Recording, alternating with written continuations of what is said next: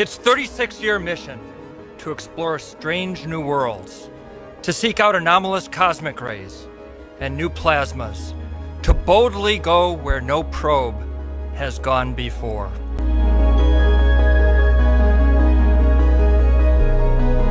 The Voyager 1 has been making its way through outer space for over four decades now, and in that time, it's gone above and beyond its initial mission. Voyager 1 just detected unknown objects passing by in space, and well, it's changed everything.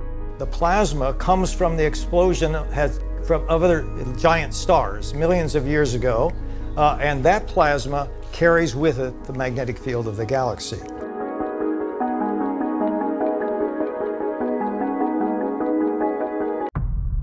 While for the past few years, we've mainly just looked at data from inside the solar system, thanks to the Voyager one, we now have access to data from outside too.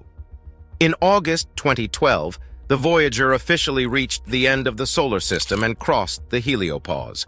But this wasn't an easy task whatsoever. As Voyager 1 moved farther away from the Sun, the amount of sunlight available to power its instruments and systems diminished significantly. The spacecraft's power is primarily generated by three radioisotope thermoelectric generators, RTGs, that convert the heat produced by the natural decay of plutonium-238 into electricity.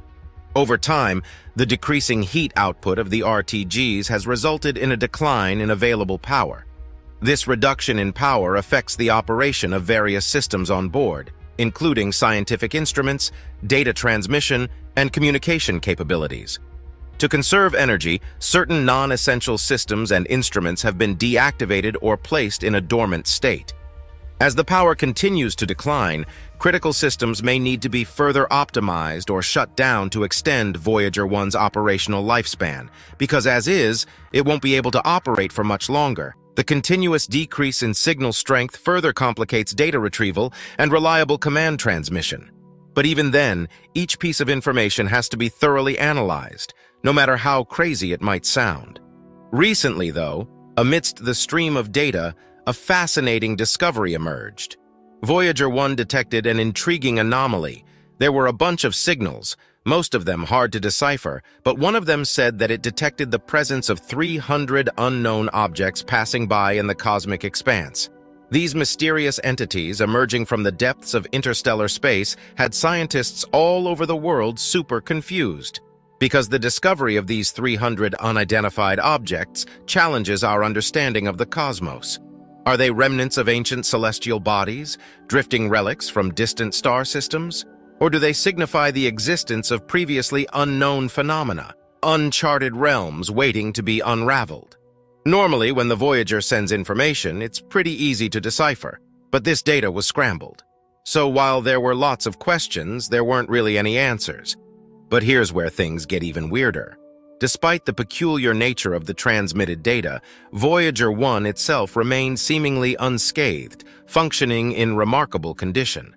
The great thing was the fact that its communication link with Earth remained intact, the signal that retained its strength, allowing valuable information to be sent to NASA without much of an issue. Curiously, none of the spacecraft's fault protection systems were triggered, indicating that it hadn't even gone into a protective safe mode, which would be the normal course of action if it detects any threats. So it was clear that the Voyager wasn't really under attack. Their expertise and dedication played a crucial role in successfully restoring the clarity of Voyager 1's communication stream. The engineers' efforts showed the importance of leveraging past knowledge and combining it with present technology to overcome challenges in space exploration.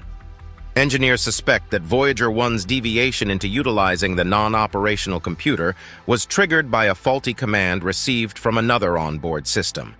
This hypothesis suggests the presence of an underlying issue within the spacecraft's intricate computer network. Despite the concern, mission managers remain cautiously optimistic, emphasizing that the incident doesn't actually pose a significant threat to Voyager 1's long-term well-being. Well, as unbelievable as it might be, despite how powerful the heliosphere is, NASA wants to know everything there is to know about it and beyond. And the interstellar probe is going to be the one to gather all the info. The Interstellar Probe is an ambitious NASA space probe concept that aims to take things one step further than the Voyager spacecraft did. First proposed in 2018 by NASA's Applied Physics Laboratory, this groundbreaking mission envisions launching the probe between 2036 and 2041, embarking on a journey that will span several decades and cover hundreds of astronomical units away from Earth. At the heart of the Interstellar Probe's mission is the need to gather comprehensive measurements and insights into the conditions prevailing throughout the heliosphere and the heliosheath. Yes, there's a difference between the two. The heliosphere refers to the region influenced by the sun's solar wind, while the heliosheath represents the outer layer of the sun's bubble of charged particles.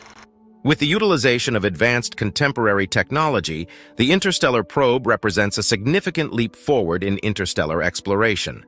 Its primary objective is to lay the foundation for future ambitious journeys, both scientifically and technically.